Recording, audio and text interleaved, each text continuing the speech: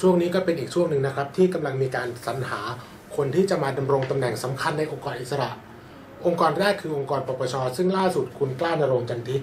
ครับอ่าซึ่งปัจปัจจุบันนี้ก็กลายเป็นอดีตกรรมการปปชไปแล้วครับได้หมดวาระลงเนื่องจากครับอายุครบ 70 ปีครับและอีกส่วนหนึ่งก็คือส่วนของกกตที่ครบวาระ 7 ปีก็คือไปยกชุด 5 คนครับทีนี้เรามาดูกันในส่วนของปปชก่อนดีกว่าว่าครับปปชตอนเนี้ยที่สมัครมาเนี่ยมีตัวเต็งเป็นใครน่าสนใจและคนไหนครับน่าจะเข้าวิน ตอนนี้เนี่ยครับกรรมการปปชซึ่งต้องไปยื่นใบสมัคร เพื่อให้ทางวุฒิสภาเนี่ยคัดกรองคัดเลือกเข้ามาหนึ่งท่านแทนแทนแทนอาจารย์การณรงค์เนี่ยล่ามีการสมัครไปทั้งหมดประมาณ 10 ท่านครับคนเด่นๆที่สมัครเข้าลงชิงชัยตำแหน่งประธานกรรมการปปชเนี่ยที่เห็นเห็นๆก็คือมีทางนายแพทย์พลเดชตินประทีปอดีตรัฐมนตรีช่วยกระทรวงการพัฒนาสังคมและความมั่นคงของมนุษย์สมัยรัฐบาลพลเอกสุริยุทธ์จุลานนท์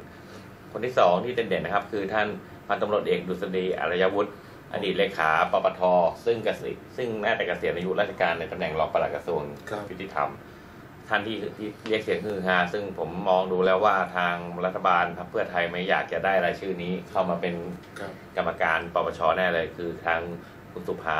ปิยจิติอดีต เออปัจจุบันท่านยังเป็นรองปลัดกระทรวงการคลังอยู่ครับ ซึ่งเป็นกรรมการชุดตรวจรับเอ่อโครงการรับจำนำข้าว ซึ่งไม่ว่าจะเป็นโครงการรับจำนำข้าวทำอะไรออกมาดูเหมือนว่าคุณสุภาจะจี้ไปทุกจุดเลยนะว่าจะขาดทุนยังไงบ้างครับ ในขณะเดียวกันคุณดุษฎีเนี่ย ก็เป็นคนที่ว่ากันว่าคือไม่ค่อยไปทางเดียวกันรัฐบาลนะครับ คุณดุษฎีเนี่ยเคยทำคดีสำคัญเช่นคดีรถหรูคดีที่ดินที่ภูเก็ตคดีที่เป็นแต่ละคดีนี่เป็นคดีใหญ่ๆ ยักษ์ๆทั้งนั้นเลย ตอนนั้นก็ตอนเมื่อปีที่แล้วก็ฟังหลังจากที่การแต่งตั้งยกย้ายท่านออกจากตำแหน่งเลขาปปทไปเป็นรองปลัดกระทรวงเนี่ยครับทางคุณดุษฎีก็ไม่ค่อยแฮปปี้เท่าใดนักอ่าด้วย ซึ่งตอนนั้นก็เหมือนมีการถ้าหากจำกันได้เหตุการณ์เมื่อปีที่แล้วมี ข้าราชการในในหน่วยงานที่ทางคุณดุษฎีควบคุมคือปปทเนี่ยได้มีการคล้ายว่าแต่งชุดดำประท้วงไกลๆกันอยู่เหมือนกันครับ ทีนี้กลับมาในส่วนของกกตกันบ้างนะครับกกตก็มีคนสมัครเยอะแยะเลย ทีเดียว 42 ราย เพราะว่ากกตครั้งเนี้ยอ่าสรรหาอีก 3 คนนะครับครับนอกเหนือจาก 2 คนเดิมที่มาจากสายอ่าสามสองคนเดิมที่ศาลจะเป็นคนที่ตัดสินมาให้ครับแล้ว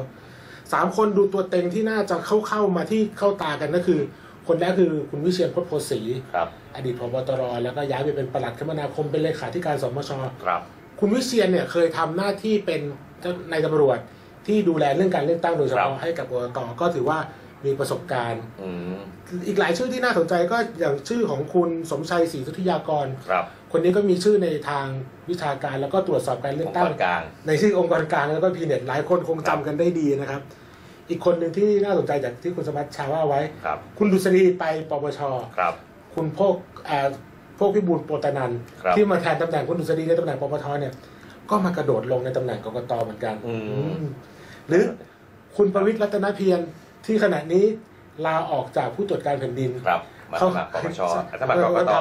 ก็เป็นก็มีคนมาว่าคุณประวิตรเนี่ย มั่นใจอะไรมากขนาดนั้นหรือเปล่าอืมเลยเลือกที่จะกระโดดออกจากผู้ตรวจการก่อน แล้วค่อยมาลงกกตหรือแม้แต่อาจารย์คมสันโพคงอาจารย์คณะนิติศาสตร์มสทซึ่งอ่าดูแล้วเป็นไม้เบื่อไม้เมากับรัฐบาลชุดนี้พอควรก็ลงสมัคร ก็เรียกว่างานนี้มีครบอาจารย์คมสันอาจจะถูกมองว่าเป็นเสื้อเหลืองครับขณะเดียวกันก็มีนักวิชาการเสื้อแดงเหมือนกันนะ อาจารย์สุดสงวนสุธีสอนหรืออาจารย์ตุ้มครับซึ่งเป็นแดงปีกก้าวหน้าก็มาลง จะเห็นได้ว่าการแข่งขันคัดเลือกกกตครั้งเนี้ยครับค่อนข้าง สูสีคู่ขี้ อือฮึซึ่งต่างจากปปชนะที่แต่ผมตัวมองว่าปตัวปเด่นชตัวเด่นก็มีแต่ตัวเด่นบางทีอาจจะเป็นดาวดับ เพราะว่าอ่าบางครั้งการทำงานในตำแหน่งหน้าที่ ซึ่งอาจจะไม่ถูกใจผู้ใหญ่บางท่านในรัฐบาล ครับอาจจะโดนตกบันไดในนาทีสุดท้าย อะต้องคอยดูนะครับว่าสุดท้ายแล้วกรรมการสรรหาที่มาจากประธานองค์กรอิสระด้วยกันเนี่ย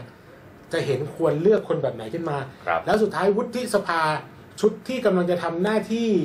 ในปัจจุบันซึ่งถือเป็นครับวุฒิสภาชุดสุดท้ายตามรัฐธรรมนูญฉบับก่อนแก้ไขครับจะตัดสินใจเลือกใครครับ